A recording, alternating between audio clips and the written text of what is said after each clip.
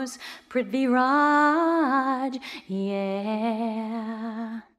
One happy birthday dot com.